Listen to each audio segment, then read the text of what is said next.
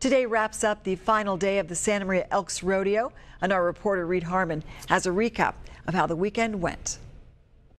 In a sentence, it, has been an amazing weekend.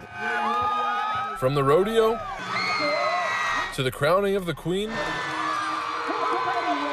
and also the parade.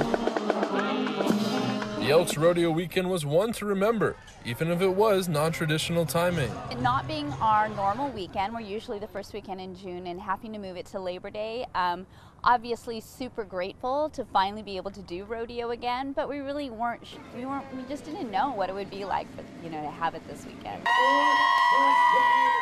The rodeo usually takes six months to prepare for, and this one was just a two month turnaround but it all worked out in the end. It was it was rough, you know, it was rough getting here, but so excited, so grateful. Food stands were also grateful to be able to share their food with swarms of crowds. Yeah, it's an honor to be here, uh, honor to serve all these uh, wonderful, outstanding people, cowboys, you know, yeah. it's nice.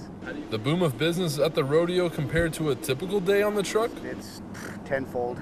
But the constant rush kept James and his team on their toes. You know, we're getting our butt kicked, you know, cooking 400, 300 freaking sandwiches and burgers between the two. So, yeah, they love it. They like the hustle, they like the grind. And the grind will continue on into next year for the rodeo with events in between. We're planning to be back the first weekend in June, so we're back to our normal dates. We're launching Haunted Hills in, in October, then Christmas in the country, and then come January, we're back to rodeo again.